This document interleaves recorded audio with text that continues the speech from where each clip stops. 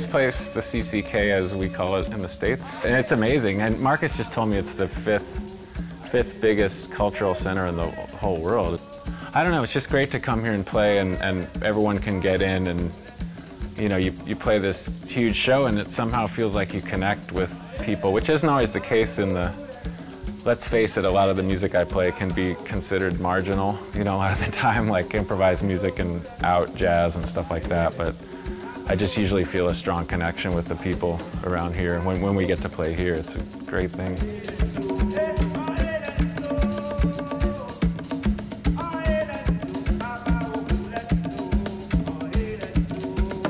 My composition process is, it's fairly methodical. Like I, I try to have everything spring from one little, it could be a melody or even an interval, you know, like space between two notes or, or a rhythm, and, and then just have the whole piece spring from that. That's what I do normally. And then I usually write a lot more than I need and, and eliminate. Like I revise a lot, kind of like how I write words also. it's, it's the same, I do the, it's kind of the same process for me.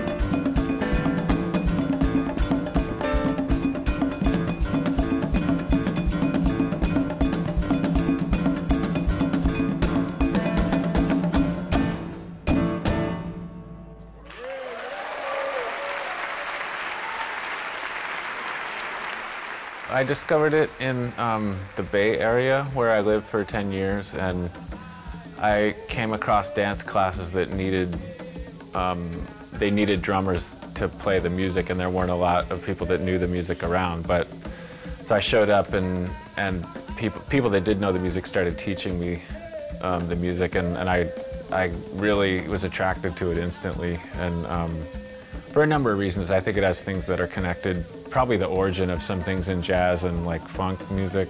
And it even had some aggression in it, which I like in a lot of music. And then I, I just started, I kind of went backwards through the people I was playing with and found their teachers. And then eventually that led me to Daniel and Markus and, and others that I still study with. One of his friends introduced me to him as taking lessons from me. And since, since that we connect. I first met Ches as a drum student um, of Daniel's and uh, Daniel lives in California and I live in New York, so Ches was looking for somebody to study with in New York and uh, Danielle recommended me, so that was how our relationship started. We are back in the day friends. We are the older friends that we, I connect him to Ches, and now we have opportunities for, for all three of us to connect and do what we love to do, which is the music that we share together.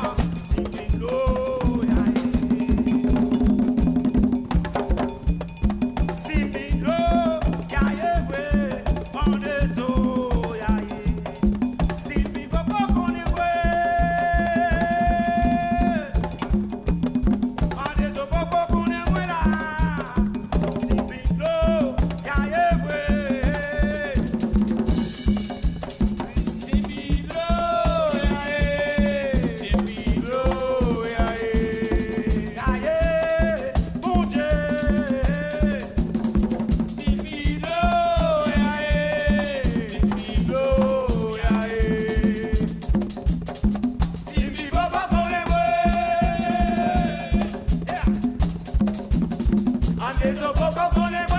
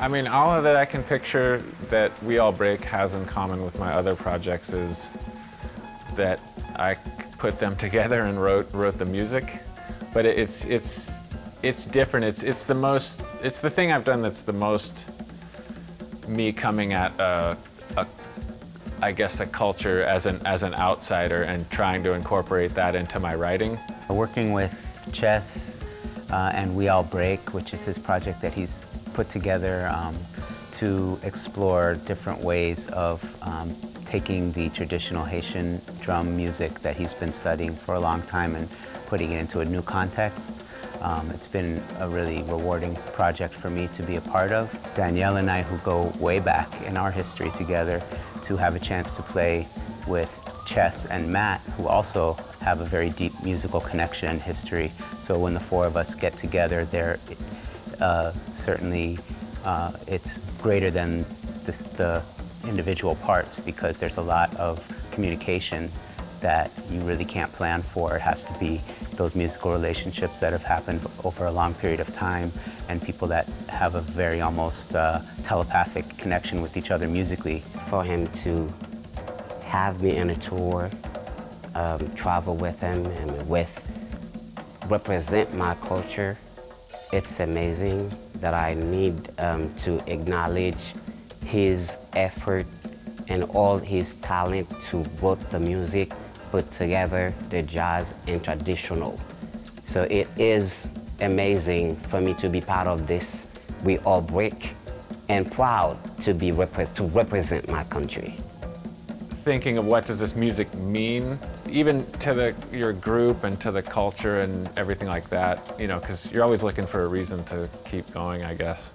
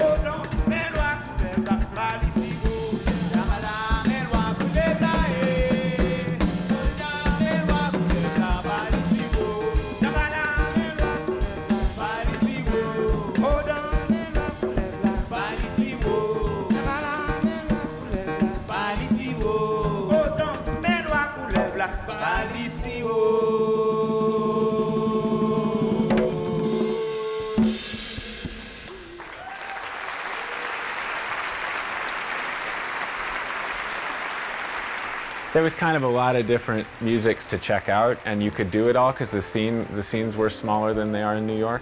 You know, you didn't have to just. New York is very focused on one direct thing you're pursuing artistically or whatever, and San Francisco is able to do a lot of things, including get involved in the Haitian drumming. What I could say about the traditional drum music of Haiti, which really it's proper name in the Haitian culture is Vodou drumming or tambou. Vodou, tambou means drum in Haitian Creole, which is the, really the main language from the culture of Haiti. Uh, I quickly discovered that Haiti was largely unknown by the world at large compared to some other diaspora traditions like Cuban drumming or Brazilian drumming or various drumming from West Africa, whether it's djembe or sabar drums from Senegal or uh, Congolese drumming. Uh, Haitian uh, music is far less known uh, in the world communities, but Haitian music is very specific, it's very particular, it has its own unique uh, setup, its own unique um, language of the drums itself, and uh, it incorporates a lot of the culture, so the more you explore that, the deeper it gets. For me, as a drummer, whenever I touch a drum and play it, I do believe the way that I raise by the Spirit, I'm play to call, call them. I play for them to be around when I'm playing. That's how, for me, that I feel like it's very special.